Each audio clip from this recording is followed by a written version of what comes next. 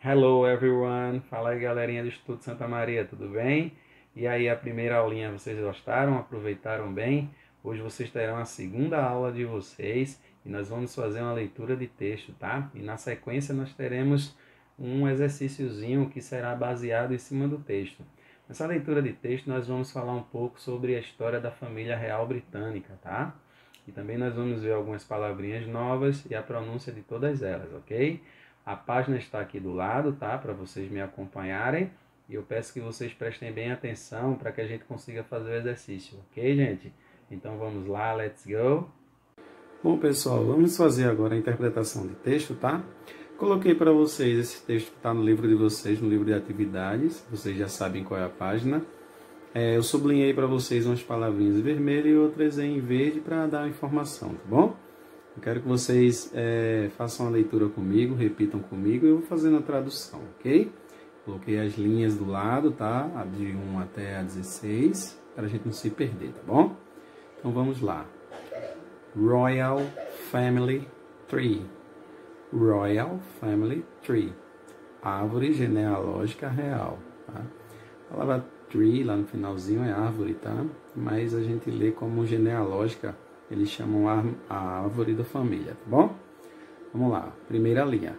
Prince William is the eldest son of the Prince of Wales and Diana, Princess of Wales.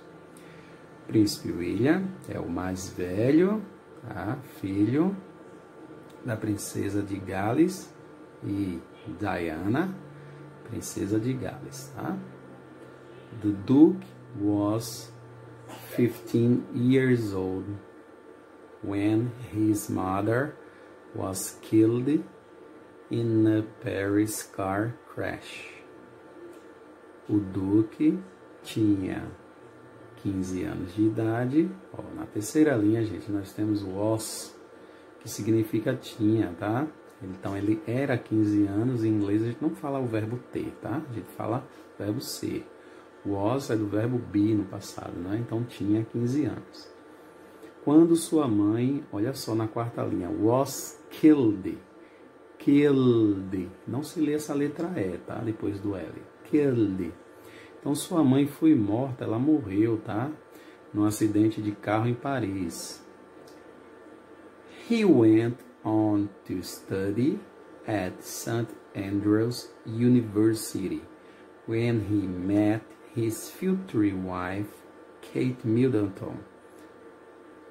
Então, ele foi, tá? Went, na quinta linha é o verbo no passado de ir, estudar na Universidade de St. Andrews, tá?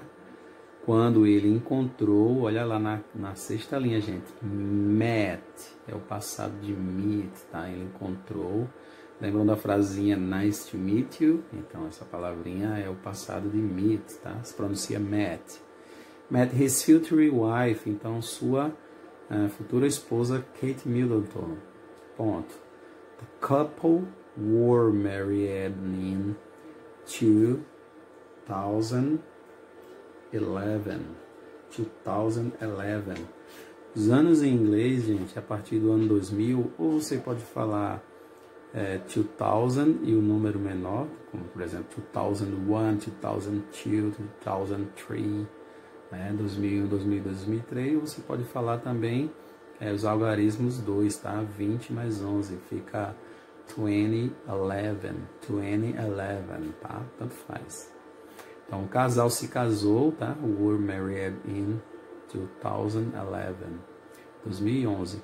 On his 21st birthday, he was appointed a Conselhor of State.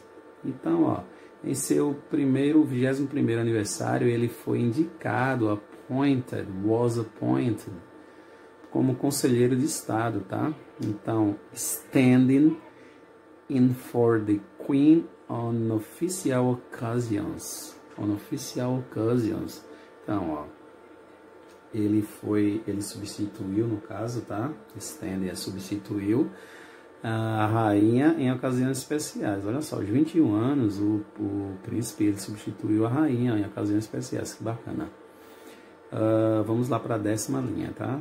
Uh, he and his wife had their first child, George, in July 2013. Então, ó, ele e sua esposa tiveram seu primeiro filho, George, em julho de 2013, tá? Primeiro filho deles. Décima segunda linha. Prince George is third in line to the throne after his father and grandfather. Então, ó, o príncipe George é o terceiro da linha do trono depois de seu pai e o avô, tá? Então, o príncipe George, ele é o terceiro da linha, tá, gente? Então, vem o avô, que é o príncipe Charlie, vem o pai dele, né, que é William, e depois vem George. His full name, George Alexander Louis, was announced two days after his birthday. Então, ó, diz aqui o seguinte, o seu nome completo, George Alexander Louis, foi anunciado dois dias depois do seu nascimento. Então, a gente só sabia que ele era George quando nasceu, depois disseram o nome completo. Uh, décima quarta linha agora the Duchess of Cambridge gave birth to their second child, a baby girl.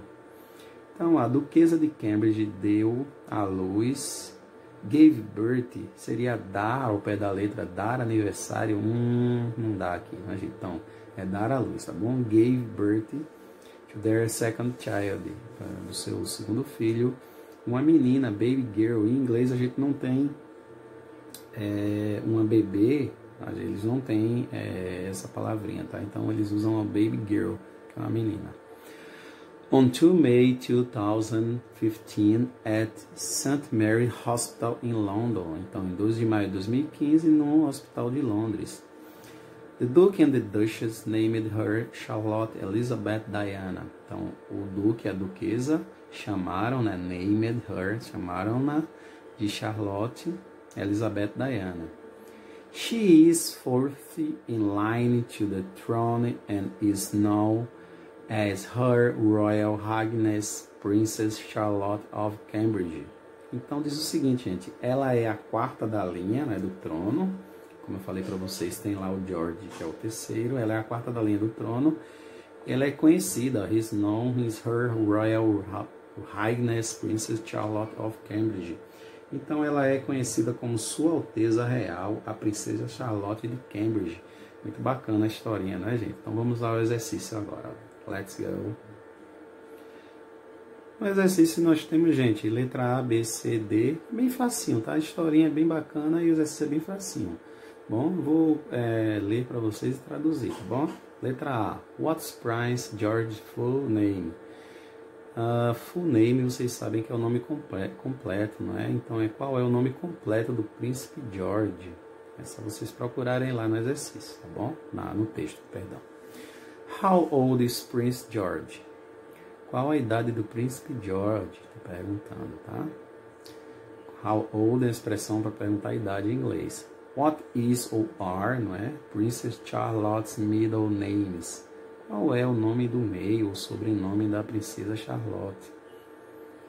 E por último, how old is Princess Charlotte? Qual a idade da princesa Charlotte? Vamos lá para ver. Vocês dão uma pausa, tá, gente? Procurem dentro do texto e na sequência eu coloco a resposta para vocês, ok? Let's go. Então, ó, a letra A agora, qual é o nome completo do príncipe George? Ó, é It's é, tá? Em inglês a gente não escreve é só com is, tá? Tem que colocar o it's. It's George Alexander Lois, tá? Muito facinho isso daí, não é? Vamos para a letra B. Letra B nós temos How old Prince, Prince George, o príncipe George, qual a idade? Aí diz aqui, ó, como a gente não sabe o ano que a gente está lendo o livro, né? A gente não tem como saber a idade dele, a depender do ano. Então, it depends on the date. Então, depende da data, tá? Depende da data. Precisa colocar o it na frente também, tá? It depends on the date. Depende da data. He was born in July 2013. Ele nasceu, não é? Ele tinha nascido. Ele nasceu em julho de 2013, tá? Então, calculem a data aí, né, gente? Dá sete anos, né? Vamos pro próximo agora. What is é, our Princess Charlotte middle name? Olha só, it's Elizabeth Diana. Olha, ela ganhou o nome da vozinha dela, né? Era a princesa Diana, tá? Então ela tem um sobrenome lá no finalzinho, ó. Elizabeth Diana. It's. Novamente nós temos que colocar o it na frente, tá? Facinho essa questão, né? E por último também a idade de, da princesa Charlotte. Né? Também depende da data. It depends on the date. She was born in May 2015. Então, ela nasceu em maio de 2015. Então, ela tem 5 anos, né? Ok, pessoal? Let's go, bacaninha, não é? A tarefinha. Vamos próximo passo.